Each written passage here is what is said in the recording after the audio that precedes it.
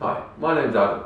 I'm going to be taking you through this week's questions and answer session from us here at Innova Systems. Thanks for watching.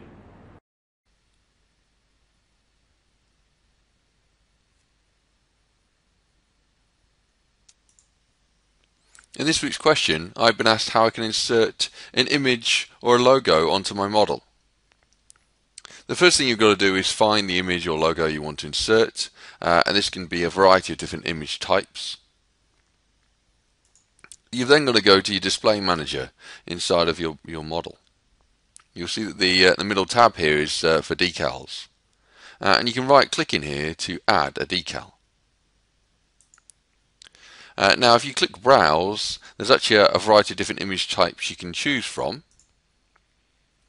Okay, there's a list.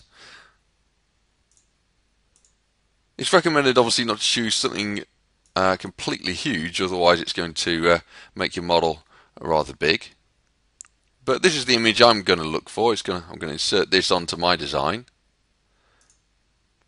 Uh, and what I'll do is I'll just click on the model where I want to insert it and you'll see it just gets pasted on.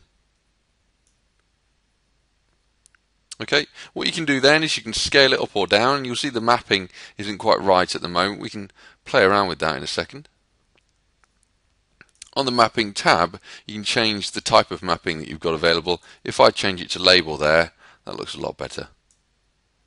Okay, you can then play around with the size of the item just by adjusting the settings on the left there.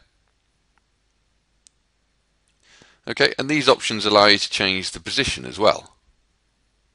So once you're happy with it, you can just hit the tick. And there we go. I've inserted an image-based logo onto my design.